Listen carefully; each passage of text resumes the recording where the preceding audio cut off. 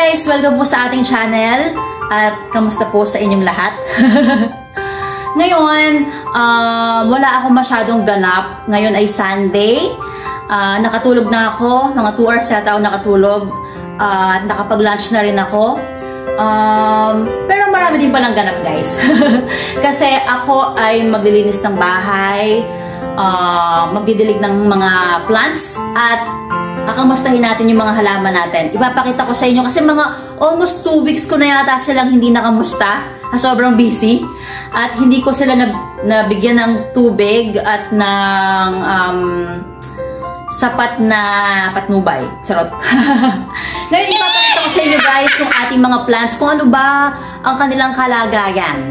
Unahin natin guys sa ating ano, sa ating mga um, seeds na na sewn before at uh, kasi before kasi sobrang liliit pa nila tingnan natin kung lumaki ba okay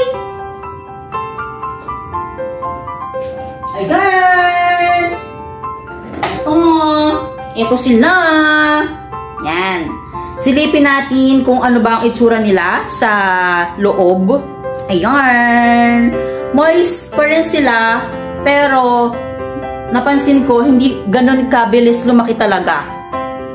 Ayan. Pakita ko sa inyo kung ano bang update sa ating nason na mga buto. Ayan oh guys. Ayan. Ayan sila. Ang galing. Kasi ano eh, um, parang stable yung pagkakatubo nila. Hindi nakabuwal. Tapos, yun nga lang talaga, sobrang tagal pala talaga mag, ano, magpadami ng cactus, lalo na kapag buto ang ginamit. Ayun! Silipin natin guys yung isa pang tupperware, kung ano ang kanilang um, kalagayan. Soink! Ito! Dalawa na lang muna ipapakita ko sa inyo. Pero ito ang itsura nila sa loob. Ayan. Ito guys. Ayan sila. Buhay naman, hindi naman patahi, pero sobrang tagal pala talaga nilang tumubo at lumaki. Kasi yung iba kong nakita na nagpa-propagate or yung nagsosowing, um, ang bilis lumaki ng kanilang mga buto mga astro tsaka mga ano mga astro and um, gymno ganun ngayon ipakita ko naman sa inyo guys yung iba pa mga plants natin ito yan ang ating mga cactus ito ay kapag na-stress talaga siya nagiging violet kaya iuwi ko siya sa, sa ano, iuwi ko sa Pilipinas. iuwi ko sa Nueva Ecija. So, gagawin natin siyang violet. Yarnski! Ito naman, si Lime. Yarn. Silipin pa natin yung iba.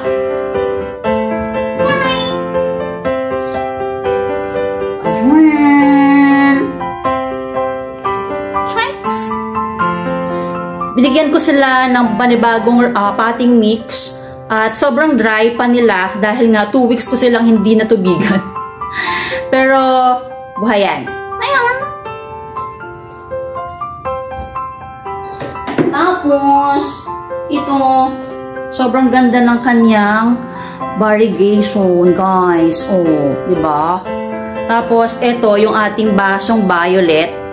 Um, Iba't ibang klasing mga ano sila, mga cactus. Ito, free lang to. Ito ay, um, parang ano yata ito eh, black gymno. Ano ba to? Um, nakalimutan ko na yung ID, pero ito, Tilax. Tapos ito, ang ganda kasi napatubukan na sila guys, 'di ba? O ayan oh, ang cute. Halatang halatang uh, tumubo sila kasi nagkaroon ng panibagong ano, ribs, ay na panibagong ano, na kulay. Tapos may ugat na rin sila. So Tapos, kumustahin natin itong ating mga grafted. Ayun. Ito. Ang ganda ng kulay, oh. Ang hirap lang kasing i-ano tabingay kasi magkakalaglag yung pating mix natin, yung ating mga ating mga pamis. Ayun siya. Hey! Ayan, pinagpapawisan na ako. Sobrang saya kasi buhay pa sila after two, ano, after two weeks na hindi ko sila nakamusta. Ngayon, diligan natin tong ating succulent Guys, dalawa na lang yung succulent kong nabubuhay. yung iba talaga na na. Tubigan natin para naman magkaroon sila ng moisture sa gilid-gilid. Um, medyo mahal yung pagkakabili ko dito. Parang, one, parang nasa 300 plus yata to. Ayan o, oh, ang ganda. Ay! Tumabingi. Ayan siya. Yarn! Hmm.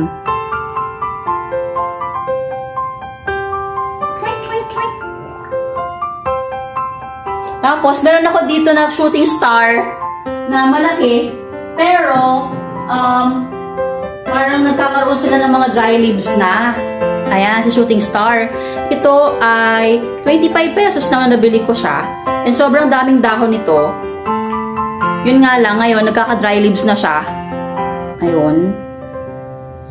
Hi! Norn. Tapos, isa sa pinaka-paborito ko guys, si um, Sakura. Yeah. Sakura. Pink Sakura. Tapos, nung nabili ko siya guys, sa Davao ko pa siya nabili, hindi pa siya um, malaki. Tapos, wala pa siyang mga anak. Tapos, may, na, may isa kong na, natanggal kasi naka, nasa pinto yung ano niya, uh, ah, pesto niya before. Tapos nung pagdating ko, nasagi ko yung isang isang ano, yung isang baby niya. Pero ipopropagate ko to, kakateran ko siya kapag okay na yung ating mga blue boy. So ang daming mga pups nito guys. Bilangin natin. 1, 2, 3, 4, 5, 6, 7, 8, 9, 10, 11, 12, 13. 1, 2, 3, 4, 5, 6, 7, 8, uh, 6, 7, 8, 9, 10, 11, 12, 13, 14 pala.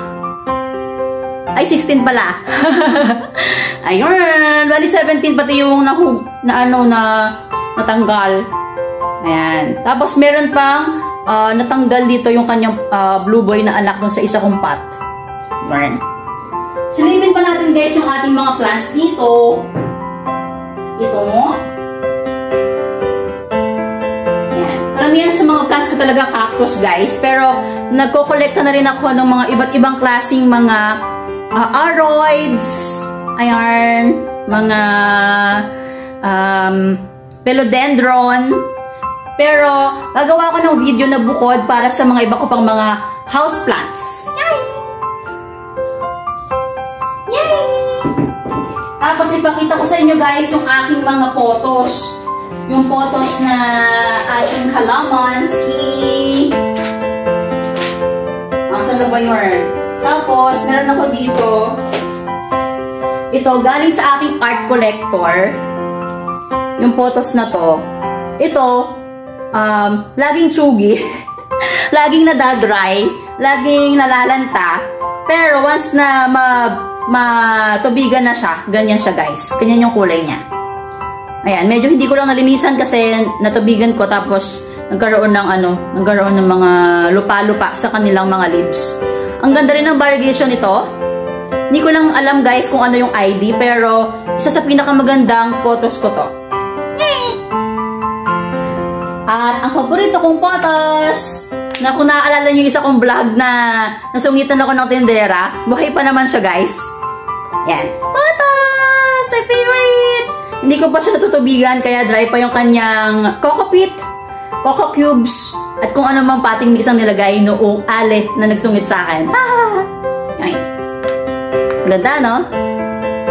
Alright. Tapos, uh, papakita ko pa sa inyo guys na halaman ay yung ating... Wait lang ah. Yung ating dalawang... Um, yung ating dalawang grafted from Thailand. Ayan. Rapted siya na gymno bar. Ayun. Hindi ko lang mapakita na masyado sa ano eh. Kasi malalaglag yung pamis yung mga pating mix eh. Pero, ganyan ang form nila. Ayan, sige na nga, linisin ko na lang yung sahig. Ayun! Ay! Nagkalaglag na. Diba, ang ganda? Oo. Oh. Oo. Oh. Diba? Yarn. Sobrang nice nila. At sana mapatubo ko kasi um, natatakot ako na mamatay sila kasi nga walang ugat nung pinadala sa akin noong seller from Thailand. So sana magkaugat at tumubo. Pero plano ko um, ilipat sa malaking pot tapos lagyan pa ng maraming mga potting mix. Tapos, ipakita ko sa inyo ang aking bukod tangi na hindi ako iniwan na na anetch. Ang tawag din eh? Um, itay. Sobrang daming leaves na nito guys. Sobrang ganda niya. Ano nga ba pangalan ng ID nito? Si, hindi siya suksum kasi si suksum red na red. Aglonema pero pink siya. Nung napunta siya sa akin, guys, ay parang tatlong leaves lang siya. Pero, bilangin natin kung ilang leaves na siya ngayon. Sobrang dami na niyang leaves. Ito yung mahal na mahal ko na aglonema kasi uh, pakiramdam ko mamamatay na siya tapos biglang mabubuhay tapos hindi niya ako sinukuan. bilangin natin yung mga leaves niya. Diba? Ang ganda. Although, ganyan talaga siya sobrang laki na sa akin, um, tumatabingi na siya. So, maganda rin yung pot niya, pero maliit na. Violet yung kanyang pot, yung mga flowers. Yan, di ba? Ang ganda! Yay! Tapos, bilangin natin yung mga leaves. 1, 2, 3, 4, 5, 6, 7, 8, 9, 10, 11, 12, 13, 14, 15, 16, 17, 18! 18 leaves na, pero meron pa siyang meron pa siyang papatubo na isa. Nakakatuwa. Ito oh. Ayan, may papatubo pa siyang isang dahon. Pakita ko ba guys? Hindi ko, hindi ko mapakita. Ito. Ayan guys. See. Ayan, nakita nyo ba? Ito. Ayan. Ayan, ito siya. Ayan, papatubo na siya. Sobrang ganda, ba diba? Ang aking halaman.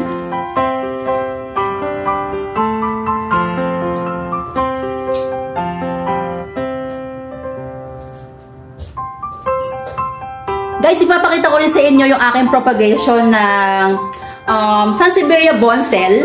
Ito yung kanyang mother. Um, nabili ko siya ng isang piraso, pero ito yung kanya naging anak. Kung na video ko na yung kanyang nanay, yung nanay niya natsugi kasi nga nagkas- nagkaroon ng sugat dito sa isang dahon. Nung nagkas- nagkaroon ng sugat, kinater ko. Nung kinater ko, uh, diniligan ko ng tubig, tapos natunaw siya. Nung natunaw yung mami, pa parang tao lang eh. Nung natunaw yung mami, ito siya, sumulpot siya, ganto lang siya kaliit. Uh, ito, ayan. Itong, ayan. Ganyan lang kaliit. And eh, then, medyo malaki ng konti sa, sa papas na yon. Tapos, ayun, ito na siya guys. Ito na siya. Nakakatuwa. Tapos, ngayon, uh, na-propagate na natin yung dalawang anak niya. Ayan siya. ba? Diba? Buhay na nga eh. Kung nakita niyo yung vlog ko na tinatanim ko to, ayan na sila, ayan na sila guys. Ang dami ng mga um, dahon na sumulpot. At sobrang stable na nila. Yay! At ang ganda ng um, sitwasyon na, nila. Ano daw? Dahil ang ganda kasi uh, magaling, ganun. Dahil nung tinanggal ko sila dito, may sumulpot na tatlong pops tatlong offsets. Ipapakita ko sa inyo yung offsets na yon. Ayun, isa. Ito. Pero oh. tumatapon yung lupa eh. Dalawa. Dalawa. Tat at dalawa lang pala. So, yung dalawa yung tinanggal ko. Tapos, dalawa yung pumalit. Isa, tsaka dalawa. Nakita nyo ba, guys? Isa, dalawa. Ayun. Nakakatuwa. Tapos pakita ko sa inyo, guys, yung ating photos na propagate at buhay na rin sila. Pero medyo dry, kaya lagyan natin sila ng tubig. Chonics! Wait lang! I-check natin! Ayun! Naku guys, medyo natuyot. Tuyo sila. Natuyo. Natuyo. Ayan. Kaya tubigan natin. Tubigan natin ang ating putos. Choinks. Ito yung aking tabi. Para magkaroon lang natin ng ah, kanilang uh, bibig ng tubig. Bibibig ang plants. So, ayan. Nauuaw sila ngayon. Sila ay nakainom na ng tubig. Ayan. Ito pang isa. Daligan natin. Ito guys, medyo tuyot sila oh. Ayan. Tubigan natin sila. Bye! Thank you guys for watching! Bye!